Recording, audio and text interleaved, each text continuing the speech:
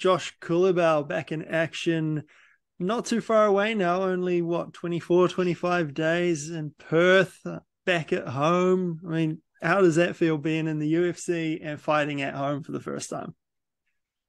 Yeah, man, it's it's a it's a dream come true. I've always wanted to to to fight in front of my friends and family for the UFC on the on the world's biggest stage. So yeah, it's unreal. It's a it's a dream come true.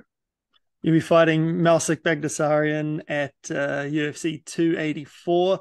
That's a, a really fun fight on paper. Two guys who can stand and bang. Uh, is is that sort of yeah. what, what you thought when you saw the name come across the table? Guy with a, a big kickboxing background. Um, I, I just um I just like guys that are that are gonna go there and, and try and fight me. I feel it always brings the best out of me. I feel like I always get the best performance out of myself.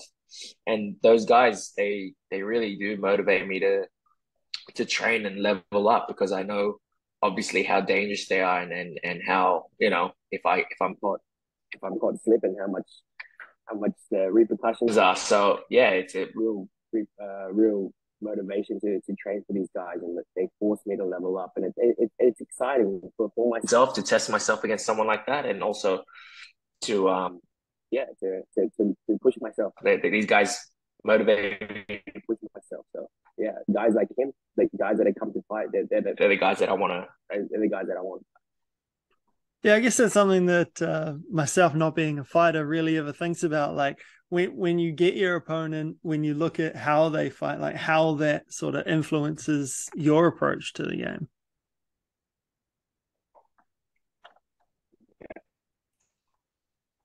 Yeah, it's it's like obviously like when you're fighting someone that has a, a specific style, you you you you have to sort of train that way. Where like if you know a guy that's coming in there and it's you know, he's gonna come come for your head. It's sort of like I don't know, it brings out something primal in you. So yeah, I, that's why I like that feeling of, of knowing that I'm fighting someone that's you know coming to take my head off. Still undefeated as a as a featherweight. Uh, I still feel like people are sleeping on you. Do you get that feeling as well? Do you care about about all that? Nah, I don't care too much. I don't care too much. Uh, again, like the, the the, the the basic casual fans, they just see fights and they don't really care. They see records, they don't really care. Um, they don't they don't they don't really know too much about like what's going on. Like the the little the little intricate things a part of fighting that people like the fight only really the diehard fans or the the fighters see it in someone and yeah, like I don't really care too much about the fans whether they whether they you know, if I'm underrated, overrated, you know, hyped up, doesn't matter to me. Pretty impressive uh, fight last time out. I know that only got given to you as a split for, I don't know, whatever reason, but uh, that was a little while ago. Were you hoping to get back in action a little bit sooner than now?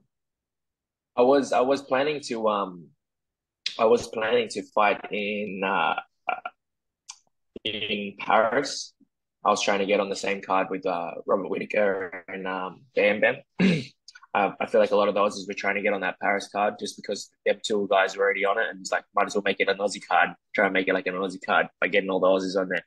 Uh, but I didn't get to go ahead because I actually hurt my hand um, leading in uh, after the fight. Sorry, after after the Seung Choi fight, I actually hurt my hand. So yeah, I couldn't get back into training, and then I said, all right, sweet, let's try and push again for uh, MSG because all the uh, CKB boys were on the MSG card. I was like, you know, might as well try and get on that card. It's a big card. He's, headlining, you know. So I was like, yeah, let's try and get on that. And then that didn't go through. And then it was like sort of like, all right, will you fight in December? But if you fight in December, you do know we're coming to Australia in February. So if you fight in December, we'd probably be hard for you to get on that February card. So I was like, I miss out fighting in December but at least I know for a fact I'll be on the uh, uh, 100% sure I'll be on the Australian card. So I was like, yeah, I'll just wait it out. Because again, like it's a dream come true. Do you feel like there were a few of the Aussie boys sort of in that similar position, probably due to fight maybe November, December, but with the the Aussie card coming up, they're kind of like, well, maybe maybe let's just wait. Or on the other hand, they took fights yeah. and now they're not going to be able to fight an Aussie. Exactly. Like look at look at uh Bam Bam who just fought, you know what I mean? And look at uh Jake Matthews who just fought. They're both not on the not on the card, you know. So yeah, that I feel like that them two guys were were on the same boat as me. That like, oh, do I get a paycheck in before Christmas and sort of like you know try and hope I can get a fight or you know so it was it was more so like that that sort of thinking I feel. How was the the Christmas period? Were you able to sort of enjoy yourself, or was it a little bit restricted?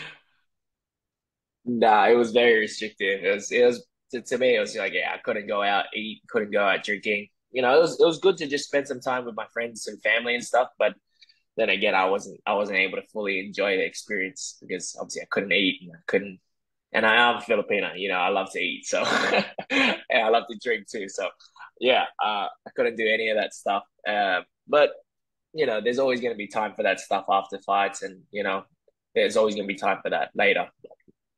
So right now, there's a there's a guy I need to focus on, a job at hand. So that's all I'm focusing on. When you look at Melsik Baghdasaryan, what does he do good that you've seen? Man, he's good. He's explosive. he hits hard. You know, he's he's a guy that a lot of people would look at him and be like, oh, well, I don't want to be standing across the cage with that guy. But to me, that's uh that that puts uh, you know lights a fire in the mask and, and really really really gets me excited. Really gets me really gets me going. You know what I mean? Uh, I think he's good everywhere. I think he's uh his kickboxing is is really really not not the most technical or most refined kickboxing style I've seen, but he's he's definitely he can crack and he has the confidence to let the let the punches and kicks go. So um, that's what's dangerous about it. He hits hard and he's confident that he knows he hits hard, so he's he can let it go. So he's he's he's a he's a pretty he's a pretty pretty exciting fight. If I was to be a fan, I'd be excited to see this fight too. You mentioned all his striking. I, I feel like you know you being a, a, purple belt in BJJ, that might be an avenue that you look into. Have you thought about that? Like, are we going to see any of your your grappling come into things? I suppose you can't really know, tell maybe, us any maybe, plans, right? Uh, maybe, maybe uh, it depends. The Aussie fans, they they get me G'd up enough. I, I think I'll just not think with my head and just think with the crowd. You know, the crowd G me up too much, and I just, you know, me and him can go, you know, toe to toe and, and bang it out and just let me have one of them let me bang bro moments. So yeah. Uh it, uh, I'll try. I try. I'll try and stick to a game plan, you know. But uh, it depends on the in the in the heat of the moment. Maybe he gets me a little bit too excited. I mean, him just go toe to toe. So who knows? How is that for you as a competitor, kind of dealing with the energy of the crowd, or I guess embracing the energy of the crowd like that?